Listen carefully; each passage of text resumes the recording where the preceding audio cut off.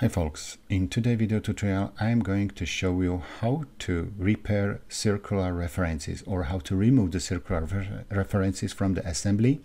But I will start from scratch so I will create the circular references first.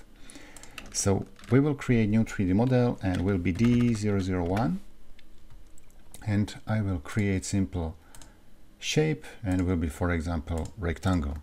Something like this. Is okay. It's fine I will create new assembly and with some name and we will apply the model from the session and will be default orientation. Over here, we need to create some special shape. So for example, somebody will open the model and over here they will create some special shape, something really easy. So special shape can be uh, like this, yeah? But what does it mean? I do not use the dimension, here.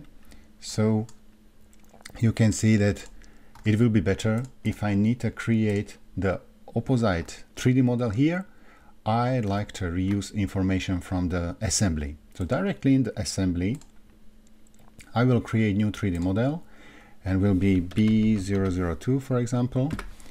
And I will use the copy from existing, system will use the template, and I will use the default placement. Great, perfect.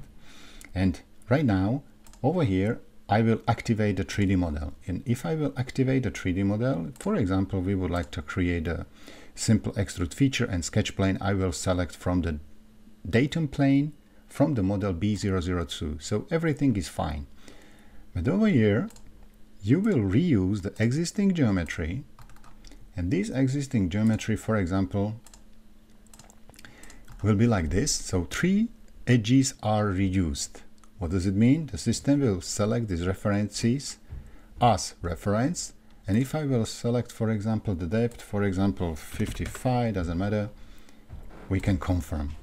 And right now, if you will regenerate the assembly, so I will activate with Control A and I will regenerate Control G, you can see that nothing's happened. It's not problem. Everything is fine and you can continue. And this assembly was created, for example, by your colleague or colleague of you, yeah? And if you will check the working directory, so if I will save this, give me a second, I will save this assembly, you can see here that nothing is created. No CRC file is created and it's not error message here. This assembly was created by your colleague and then he will tell you please make some modification and you will say okay um, this component is not correctly placed and you will specify the edit definition and you will change for example because you do not know how the object was created yeah? And you will specify the placement for example you like it here. So you will place where you want yeah so for example distance coincident and everything is fine. You like it perfect. So this is much better placement like was original one because it's suitable. But then you will regenerate the assembly and the system will show you problematic problematic circular references. But you didn't create this assembly before. You only modify this component placement. What does it mean if you will select the warning message or you will select the right mouse button information and reference viewer, you can see that in the dependencies, you can see the connection between parent children's. And if you will select the path and info and reference info, the system will show you all necessary information. If you ask me, go through the path and if you have, a, for example, five circular references, it's unbelievable. It's really hard. So I'd like to show you how to do it much easy. If you will save the problematic assembly and come from OK, the system will create for you always the CRC file. If the circular references exist, the CRC file is created. Open it, for example, with a notepad or WordPad, and then you can go through and investigate the problem. And over here, for example, will be the five circular references.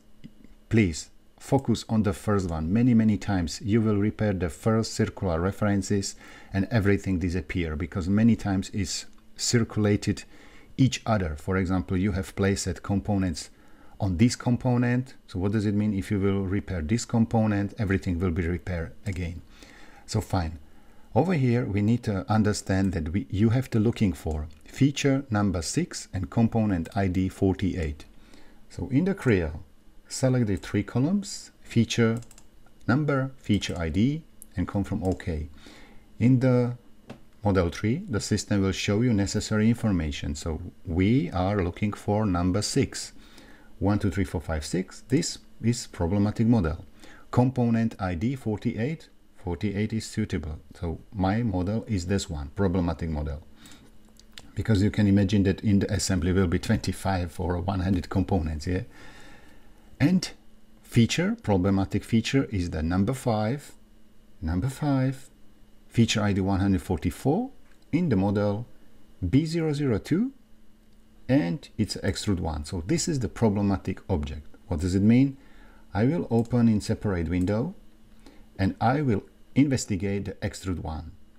What does it mean if I will select the definition for extrude 1 and if I will select references because this is the reference for the model and I can see that edges are took from the D001, so not exactly from this model. And then what you can do is simply to delete existing references. You can select the default coordinate system or default planes as the references and if you will close the system will took dimension from this reference so shape is not changed everything is as original one and if you will come from OK and if you will come from OK and close the window, you need to regenerate the assembly. Yeah, because the system remember the original position and everything. So if I will regenerate the assembly, everything will jump back because this component has been placed, for example, default or surface to surface and so on. Yeah, so everything is back, it's working. And if I will open the folder, I will delete the old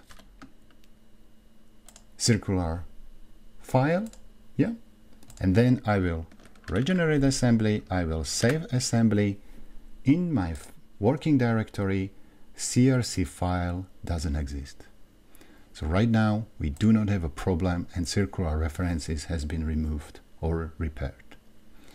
And again you can check the information reference viewer and over here will be no children which are connected to previous model.